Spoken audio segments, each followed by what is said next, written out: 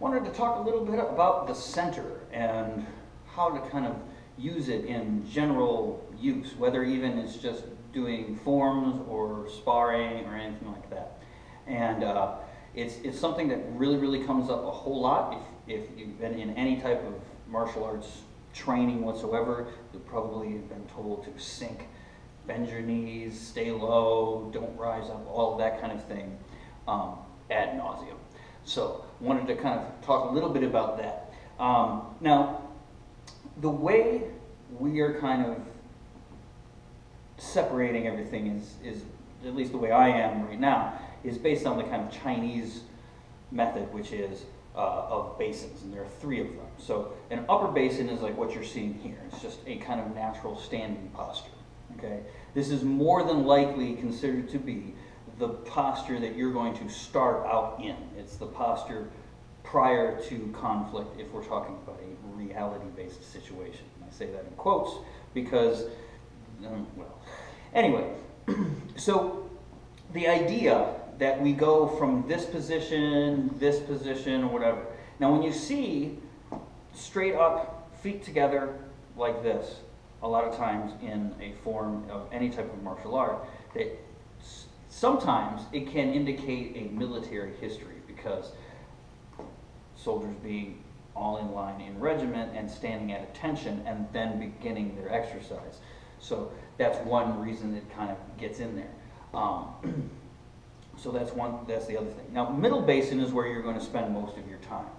Middle basin is in that ready stance. Now, you can have different middle basins depending on what you're doing. If you're fighting or sparring, you're probably going to have it a little bit higher, right? It's because I want a little bit more mobility. Okay? But notice I'm not like this.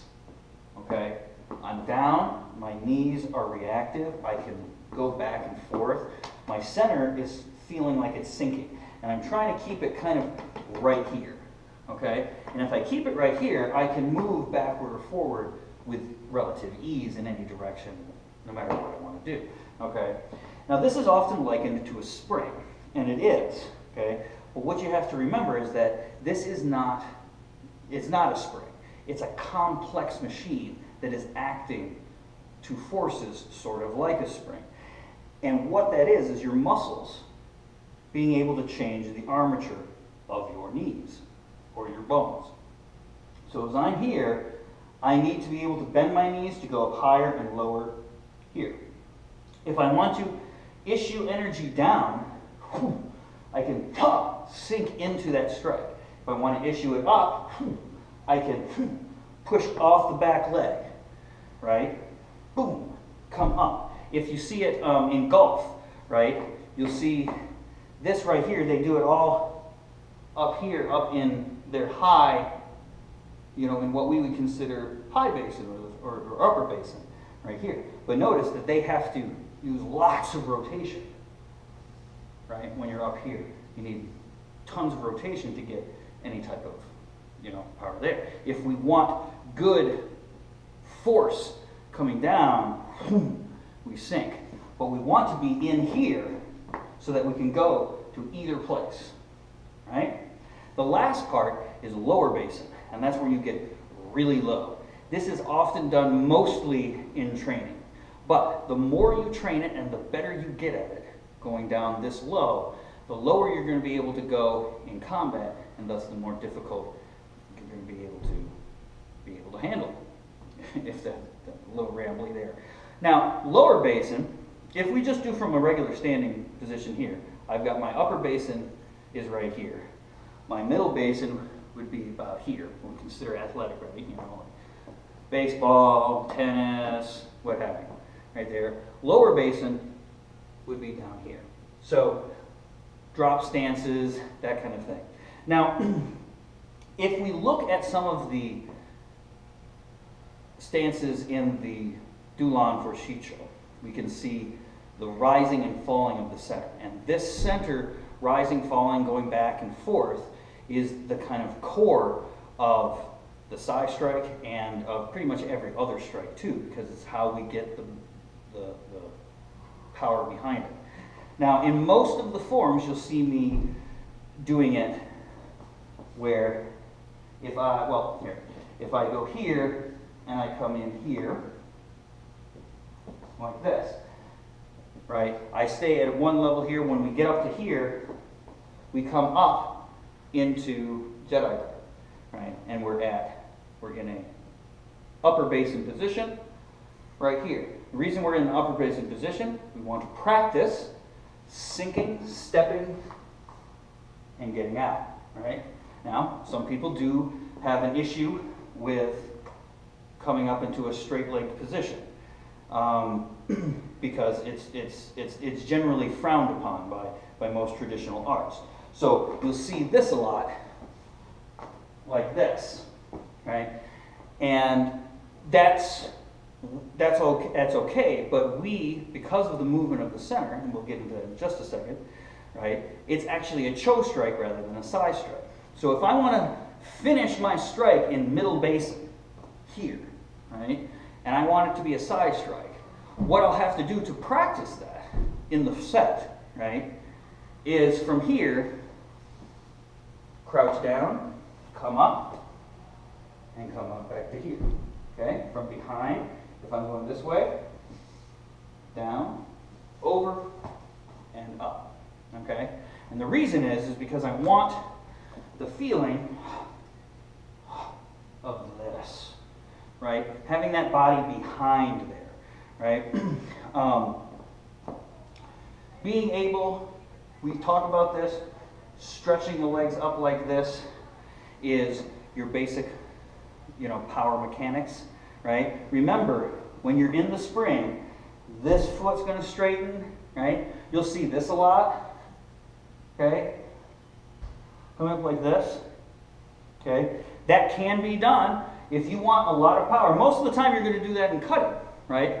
When you don't have to worry about it. Because if I do this, right, and I start coming forward, I'm going to I'm going to overcommit that way. So I don't want to do that. When I come up here and I bring this leg in, like that, that's better than this because I can bring, bring my center in together, and I'm not going to fall over, right? But the way I'm doing it in most of the sets is like this, okay, the side, okay, where you see it dips down a little bit into the middle and comes up to high. Okay. You can see this in other martial arts too. In uh, Taiji Sword, they do this a lot. They come up like that. And that's the exact same type of, uh, type of idea. Where in reality, I'm just trying to do a nice sweeping, slashing cut there and put some body behind it. Okay? So, going from one center to the other, remember, stay here. This is where you want to be. Okay, so in my, in my any type of ready position, I want my knees bent, right? I don't want them overly coiled because that um, commits me to issuing. And I don't want them completely lax, right? Because either way is not reactive. What I want is a nice little balance in between so that if I need to go up, I can go up. If I need to go forward, I can go forward. If I need to go back, I can go back. All of this there. If I grab somebody I take them over and I get them into this position here and I'm ready to throw, boom. There's that throw right there. Okay? I may be bent over here, boom. My legs and my center go into the upper basin. In order to get that throw, I got to get underneath, boom, and come up. Right? So both are trained. Sinking the center down, right? Starting from a standing position, getting into another position any way you want, stepping back, stepping forward, our natural standing into, into ready. And then the upper and lower basins are there to give us the, the extra motion that we need at either end of the spectrum. Right? So when you're doing the set, make sure that you're getting those basins that you got them clear. They can be at any height. If this is your middle, that's fine. This is your upper, and this is your lower, so be it. Right? Okay? But make sure that they're clearly defined and that you can go between all three of them. Right? Because that's really the, the, the, the, the purpose of that kind of stuff. When you're doing it for real, it's probably not going to look like that. You're not going to have the up and down, the huge stuff. But you'll notice that the further you can go down, if you can go down just an inch more, you can dodge that strike, you can get underneath their guard, other targets will open up themselves to you, and you'll be more rooted and more mobile. okay?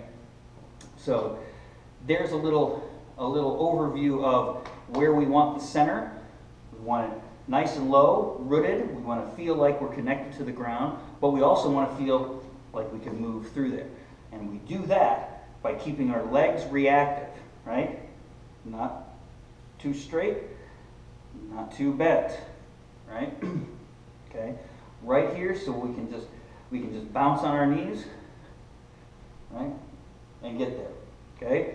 Our deceleration, when we go down low, so that if we're, we're stopping, the lower we can go, the, the, the, the, quicker we can stop. So the low postures, the high postures, a lot of times people are like, what are those for? This is what they're for. They're a mechanical uh-huh. exercise, not necessarily stuff that you're going to be using out of the box and inspiring and anything like that. But they open up your hips, they get your center to go down, to go around, all of that. And get, get control of your center is basically what it comes down to. So, thanks for watching. Hopefully that uh, helped a little bit with the, uh, with the set. Now this is just talking about practicing by yourself. When you're trying to replicate these types of things and how, how you do this, this is what you want to think about. Obviously, and this is why we, we accentuate this, this kind of reactive, bent knee, athletic ready posture all the time to be our base posture from which we come, come from, right? It's because we need the ability to both absorb and emit that way. Okay? So, just remember that.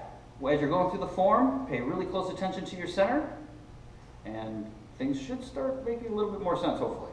Um, we'll probably go into a little bit of combat on this particular issue, I can show you some ways to do, to do that uh, in another video. So um, until then, have a great day.